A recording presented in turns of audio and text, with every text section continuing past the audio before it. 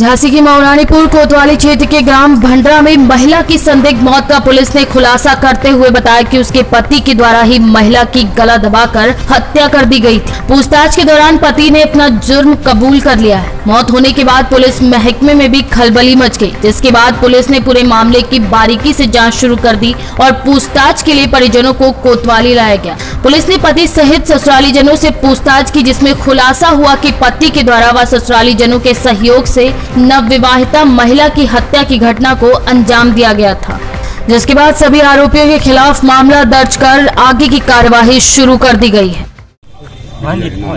आपकी ये भांजी थी। हाँ जी, हाँ। क्या घटना हो गई आपकी भांजी के साथ? घटना कुछ नहीं रात को मार डाला है इन्होंने। अभी सो वही दो बजे करीबन हमको फ़ोन किया कि आपके बच्ची को मतलब वो हुआ हमला हुआ चोरों ने मार डाला ये सब झूठ फर्जी बना रहे चोरों ने मारा होता तो एक ही लड़की को मारती उसकी जानना पहचान। ये दहेज प्रथा के लिए हर बात हर चीज़ दे दी मगर इनको तसली नहीं पैसे मांगते रहे। अगर पैसे पूरा नहीं हुआ धमकी देते रहे हम मार देंगे अगर उन्होंने मार ही दिया से कंटेक्ट खेला रखा आपको किसमें शक है इनके परिवार पे? परिवार लड़के पे ज़्यादा है सबसे ज़्यादा लड़के पे है। क्या घटना हुई आज? घटना में बच्ची को मार दिया जान से। किन लोगों ने? जिन लोगों के जब हाँ बच्ची हती आपको सूचना कैसे मिली?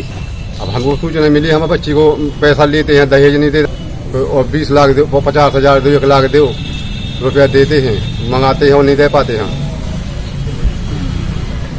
कब हुई थी आपकी बच्ची की शादी? पर एक साल हो गए। एक साल हो गया आपने दहेज में क्या क्या दिया था?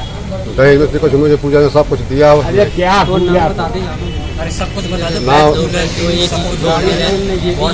कुछ दिया है मशीन से लेके हर चीज़ है हर चीज़ वो- वॉशिंग मशीन से लेके फ्रिज जो भी है दहेज का होता है बड़ा सामान तीस चालीस हज़ार पूरा हर चीज़ है उसमें हो सोना है? सोना है। सोना है जो भी है कानून की सब चीज़ है। ताना मौरानीपुर क्षेत्र में बड़रा गाँव है। वहाँ पे एक नबी अहमद नाम के व्यक्ति के घर पे। उनका कहना है कि तीन चोर आए हैं और उनके पुत्र बधु को मार दिए हैं और कुछ सामान लेके चले गए हैं। घटनास्थल निरीक्षण हो गया है, फ़ील्ड यूनिट की टीम भी निरीक्षण किया है। बहुत ही सक्रिय गली में घर है, चारों तरफ़ आसपास की घर है और जिस कमरे में मृतका की बाड़ी पाया गया, उसमें भी आदमी और भी लोग सो रहे थे। उस कमरे के बाहर भी परिवार के सदस्य सो रहे थे। चारों तरफ़ लोग सो रहे थे बट इस बीच में अ, उसके पति अफरोज का कहना है कि चोरों ने उसको मार दिया और यानी उनकी पत्नी को मार दिया। मामला संदिग्ध लग रहा है। घर के ही अंदर का विषय घटनास्थल के निरीक्षण के बाद समझ में आ रहा है। वादी और वादी के जो गर्भ परिवार के सभी सदस्यों के बयान अलग अलग हैं। एक दूसरे के बयान से काफ़ी विरोधाभास है। परिवार के लोगों से भी अलग अलग पूछताछ की जा रही है। जल्द से जल्द इस मामले का खुलासा किया जाएगा। सामान क्या क्या गया होगा अभी कोई कुछ बता नहीं पाए हैं। और अभी तक वादी और वादी के परिवार के सभी सदस्यों का बयान अलग अलग है। तो इसलिए मामला थोड़ा सा हम लोग और गंभीरता से गहराई से जाँच कर रहे हैं। जल्द से जल्द इसका खुलासा होगा। डॉग स्कॉट से कुछ सफलता मिली है? नहीं। झांसी से केकेडी न्यूज़ संवाददाता मुकेश राजपूत की रिपोर्ट। झांसी के मौरानीपुर तहसील में ग्राम पंचायत मगरवाड़ा के एक दर्जन ग्रामीणों ने हस्ताक्षर युक्त ज्ञापन उप जिलाधिकारी अंकुश श्रीवास्तव को सौंप कर बताया कि गाँव में भूमि प्रबंधक समिति के द्वारा प्रस्ताव डाला गया, जहाँ पूर्व में पंचायत भवन बना हुआ है और पुराना पंचायत भवन जर्जर हो गया। जिसको लेकर भी प्रस्ताव पारित किया गया, उस पर निर्माण कराए जाने के निर्देश देने की मांग उप जिलाधिकारी से ग्रामीणों ने ज्ञापन के माध्यम ऐसी की, जिसमें नगर के विकास कार्यो की बात अंकित की गई। ज्ञापन में राजेश कुमार दीक्षित कैलाश गिरी राजेंद्र प्रमोद कुमार बलिराम शेखर दुलीचंद रामचरण घनश्याम कुरी सहित कई ग्रामीणों के हस्ताक्षर किए गए। क्या नाम है आपका? कैलाश नाम है कैलाश गिरी। किस गाँव से ग्राम मंगावा ज्ञापन किस माध्यम से दिया आपने? जो पुराना पंचायत भवन बना है वहाँ पर प्रस्ताव दिया गया है वहीं पर बनाने जा, बनाए जाने का। पंचायत भवन और दूसरे नंबर में दिया है प्रस्ताव। सामूहिक शौचालय बनाने का वहाँ नहीं बनाया जा रहा है। प्रधान अपने स्वास्थ्य के लिए अपने घर के पास बना रहा है। उसको कैंसिल करवाने के लिए प्रार्थना पत्र दिया जा रहा है। एक गाँव से एक किलोमीटर दूर पड़ता है। उसमें गाँव वालों को कोई लाभ नहीं है। और जहाँ हम लोग प्रस्ताव डाला गया है वहीं पर बनवाना चाहते हैं समस्त ग्रामवासी।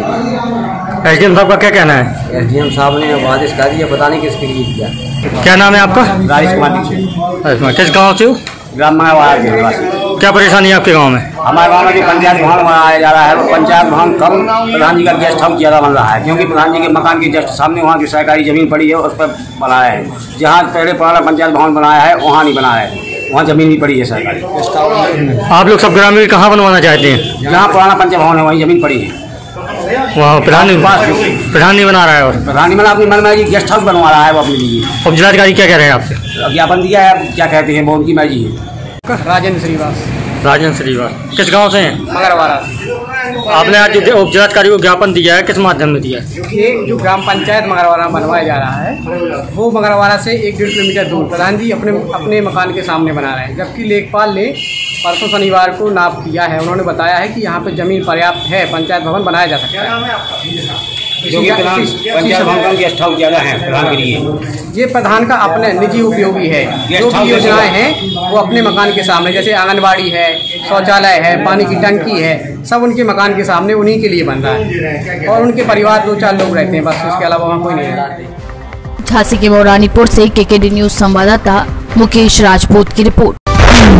जौनपुर में मड़ियाहू में अपना दल यश के कार्यालय का उद्घाटन किया गया। और नवनियुक्त राष्ट्रीय सचिव पप्पू माली का स्वागत समारोह का भी आयोजन किया गया। इस दौरान चंद्रशेखर, नवदीप विजय, कलावती के साथ कई लोग मौजूद रहे। आज मछली शहर, संगठनात्मक ज़िले का जिला कार्यालय के उद्घाटन के मौके पर यहाँ पर विराजमान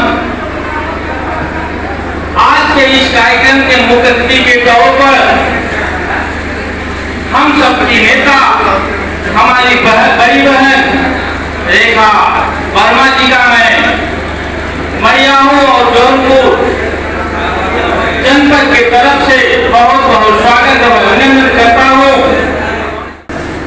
सबसे पहले मैं अखंड भारत के निर्माता, सरदार वल्लभ भाई पटेल साहब, संविधान के निर्माता बाबा साहेब अंबेडकर जी, और हमारे अपना दल के संस्थापक दलितों शोषितों, वंचितों, कमजोरों के मसीहा या सरकार डॉक्टर सोनीलाल पटेल साहब जी, सहित अपने तमाम महापुरुषों के चरणों में सरकार का सुबह अर्पित करती हूँ। आज इस जिला कार्यालय के उद्घाटन में उद्घाटन समारोह में उपस्थित हमारे सभी राष्ट्रीय प्रदेश जिला इकाई विधानसभा सेक्टर बूथ स्तर के सभी उपस्थित हमारे अपना परिवार के सदस्यों का हार्दिक स्वागत अभिनंदन करती हूँ। जौनपुर से केकेडी न्यूज़ संवाददाता सुरेश कुमार शर्मा की रिपोर्ट।